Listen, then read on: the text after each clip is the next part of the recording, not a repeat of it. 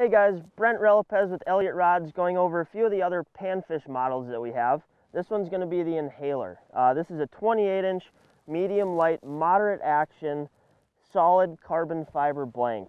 Uh, it's super parabolic so when you are fishing deep water crappies and they tend to do that big head shakes coming from deep depths, this rod will play with those head shakes and keep them pinned with that paper mouth all the way up to the surface. Bite detection comes from a titanium spring bobber, uh, good down to negative 20, even if you're hole hopping, it won't kink and bend and stuff like that. Uh, usually what I tend to put on this rod is a small tungsten jig for hole hopping, stuff like that.